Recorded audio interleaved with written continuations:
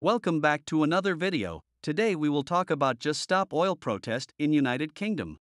Just Stop Oil described themselves as a coalition of groups working together to demand the government stop the exploration, development and production of fossil fuels like oil, gas and coal in the UK. The group launched on February 14, 2022.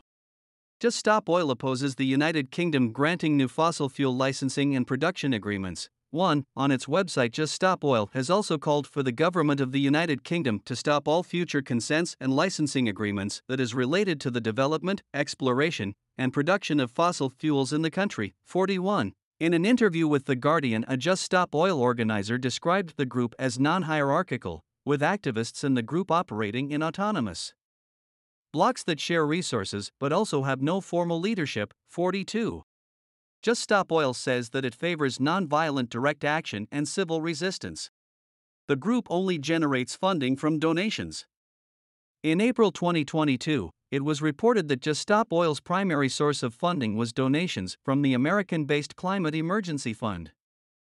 Through that fund, a notable donor to the group has been Aileen Getty, a descendant of the family which founded the Getty Oil Company. The group also accepts donations in cryptocurrency and favors Ethereum for donations. This has generated criticism due to environmental impact of cryptocurrencies.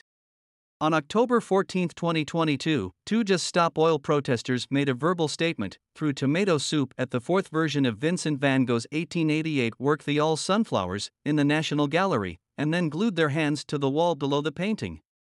The painting was protected by glass and was not damaged, however, the frame, itself of significant value, suffered some slight damage. The rotating sign outside Scotland Yard was also spray painted orange. More than 20 arrests were made.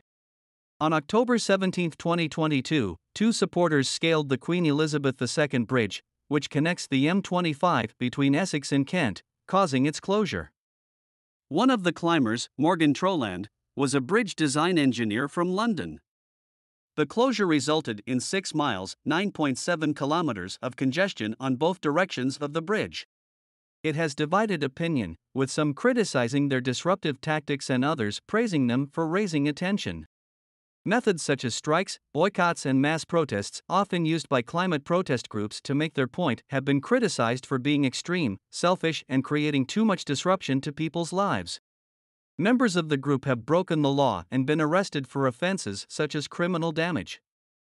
Some politicians have condemned the group's tactics for causing lives to be brought to a standstill.